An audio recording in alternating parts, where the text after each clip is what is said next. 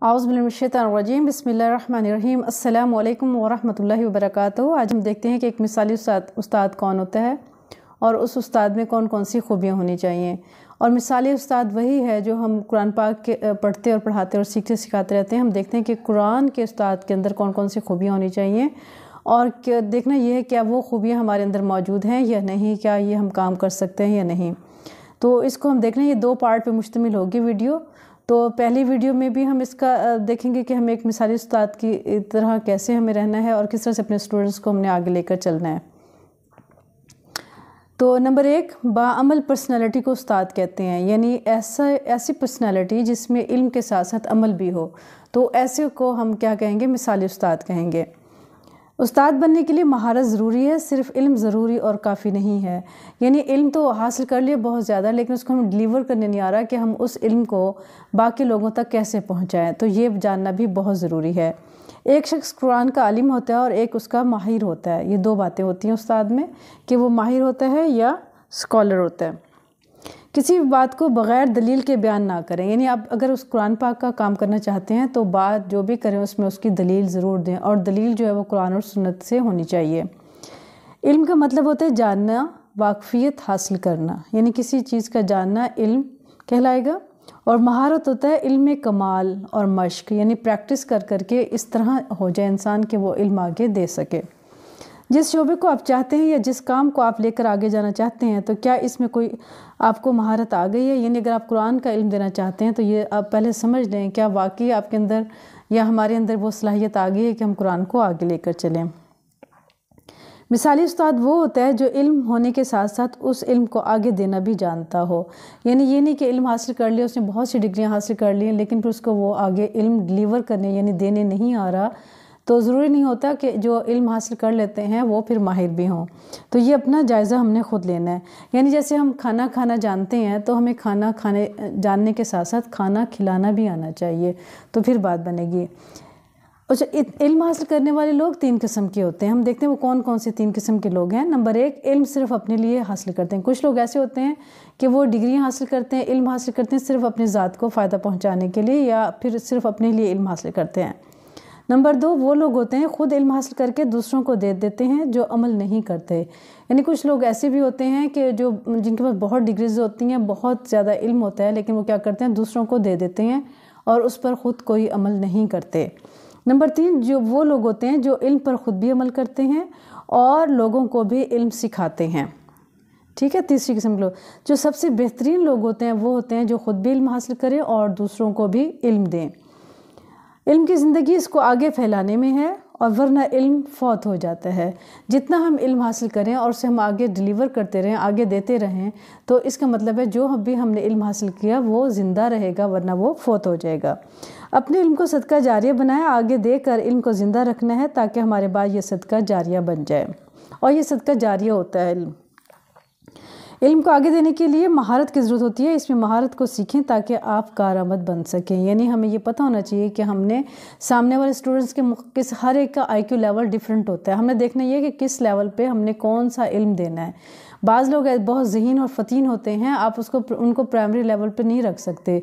और बाज़ primary level के होते हैं, उनको एकदम से हम बहुत ज़्यादा हाई एजुकेशन स्टार्ट में नहीं दे सकते। यानी स्टेप बाय स्टेप हमने आगे लेकर बच्चों को चलना होता है या लोगों को लेकर चलना होता है। तो देखना यह क्या हमें ये सलाहियत है कि हम सामने वालों की साइकी समझें, उनका आई लेवल समझें और फिर उसके मुताबिक हम वो इल्म दें ताकि वो हमारा जो इल्म है वो सदका जारिया बन जाए। कुरान के इल्म से आपको एक अच्छे मुसलमान बनते हैं। अच्छा कुरान के इल्म से क्या होता है? हम एक अच्छे मुसलमान बनते हैं।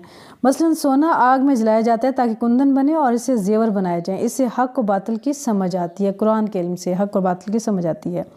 वो इल्म जिससे लोगों को फ़ायदा हो, वही इल्म ज़िंदा रहता है। परिंदों को पानी और दाना डालें, ये भी सदका जारी है। जैसे इल्म देना सदका जारी इसी तरह से परिंदों को दाना भी डालें, ये भी सदका जारिया है। इल्म दीन सिखाने को सदका जारिया कहते हैं। ये भी इसमें आता है।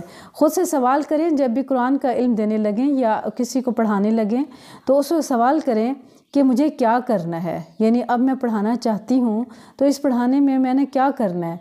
और क्यों करना है और कैसे करना है, ये और कब करना है। तो ये सवाल हैं, दो चार अपने साथ अपने से कर लीजिए।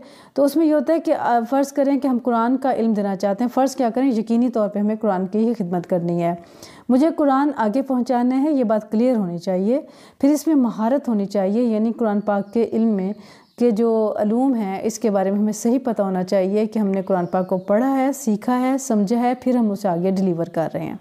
देखिए दुनियावी तालीम को हासिल करने के लिए हम मुख्तु मदारस और मराकज़ में जाते हैं और ये दीन का इल्म हम ऐसे नहीं आगे डिलीवर कर सकते कि हम बग़ैर पढ़े, बग़ैर समझे इसको हम सिर्फ़ शौक़ की बिना पे हम इसे आगे दे दें। तो इसके लिए भी बाकायदा तौर पे इल्म हासिल करना चाहिए और सीखना चाहिए और उस इल्म को फिर हमें आगे देना चाहिए। तो ये हमें देखना है। इसके पैगाम आगे देना है तो ये नशर नशरुल कुरान कहलाएगा। इससे ख़ुद और लोगों को फ़ायदा होगा। इल्म को छुपा कर रखने से इल्म ज़ाया हो जाता है। जो इल्म दूसरों को देता है, उसके लिए सारी मखलूक दुआ करती है। आप सल्लल्लाहु अलैहि वसल्लम ने इरशाद फरमाया, उन्हीं लोगों के लिए दुआ की है जो इल्म सीखते हैं और आगे सिखाते हैं। जब आप सीखते और सिखाते हैं तो इसमें से आप भी बहुत फ़ायदा उठाते हैं। यानी हमें भी बहुत ज़्यादा फ़ायदा होता है जब हम इल्म सीखते हैं, क्योंकि हमारा इल्म ताज़ा हो जाता है। तो इससे आप भी फ़ायदा उठा यानी हम भी इससे पूरा पूरा फ़ायदा उठा सकते हैं। आप अहल कुरान वालों के साथ उठाए जाएँगे, यानी ना कि दुनियादार लोगों के साथ अपनी पर्सनैलिटी पर तवज्जो दें। यानी मतलब ये कि हमारा जो शुमार होगा, जो कुरान पढ़ाने वाले लोग होंगे या कुरान सीखने, सिखाने वाले लोग होंगे, उनका ताल्लुक़, उनका हशर फिर दुनियादार लोगों में नहीं होगा, बल्कि दीनदार लोगों में होगा। अपनी ज़ात से मुतालिक ख़ुद कैसे हैं, यानी अपनी अपनी पर्सनालिटी पे तवज्जो देनी चाहिए, उसमें क्या सबसे पहले बात क्या होनी चाहिए कि ख़ुद हम कैसे हैं? क्या वाकई हम अल्लाह की रज़ा और खुशनुदी के लिए ये काम करना चाहते हैं, ये अपने आप से सवाल करना चाहिए?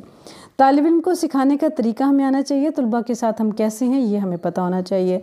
दर्स किस तरह दें, यानी दर्स देना, सबक देना, और ये भी देखें, ये भी एक बहुत बड़ी साइकोलॉजी है कि इंसान ये सोचता है कि किस तरीके से हम सामने वाले को अल्लाह के दिन की तरफ़ लेके आए? बाज़ लोग बहुत जज्बाती होते हैं। बाज़ के पास ये इल्म नहीं होता और बाज़ बस लकीर के फ़कीर होते हैं। तो देखना ये होता है कि इनको किस तरीके से हम अपने दीन के, सही दिन की तरफ़ लेकर आएँ, सही कुरान और सुन्नत की तालीम की तरफ़ लेकर आएँ। इल्म दिन पढ़ाने का तरीका बाकी लूम से ज़रा मुख्तलिफ़ होता है। बाकी लूम में तो ये होता है ना कि हम रट्टाबाजी चल जाती है सुनी सुनाई बात चल जाती है लेकिन कुरान और सुन्नत में कोई आ, सुनी सुनाई बात नहीं चल सकती और बग़ैर दलील के कोई बात नहीं हो सकती। यानी हम स्टूडेंट्स से ये नहीं कह सकते जी ये बात बस हमने कह दिया तुम मान जाओ। बल्कि स्टूडेंट्स को ये राइट होता है कि वो पूछे कि ये इल्म हम मज़ीद इसको कैसे क्लियर कर सकते हैं या इसकी वजाहत हम कहाँ से मज़ीद कर सकते हैं तो ये इल्म भी उनको देना चाहिए कि मज़ीद हम रिसर्च कैसे कर सकते हैं कुरान और सुन्नत में। ईमान अखलास कुरान से मुतल होना चाहिए। कुरान से हमें सौ फ़ीसद एग्री होना चाहिए। जब हमारा यकीन होगा कि कुरान का इल्म एक सच्चा और बरहक इल्म है तो यकीन हम इसके ऊपर तभी अमल कर सकते हैं। ये सब कुरान पाक की तालीम के लिए है, जो अलूम, जो इल्म कुरान आप दे रहे हैं, ख़ुद का इस पर सौ फ़ीसद ईमान होना चाहिए। यानी जब तक हम उस पर सौ फ़ीसद खुद यकीन नहीं रखेंगे किसी भी इल्म पर, हम किसी को वो डिलीवर नहीं कर सकते। उसके लिए सबसे पहले इल्म के साथ हमें ख़ुद अमल भी लाना, अमल में भी लेकर आना है। ये दुनिया का सबसे बेहतरीन काम है। कुरान का इल्म देना, कुरान से मुतल बात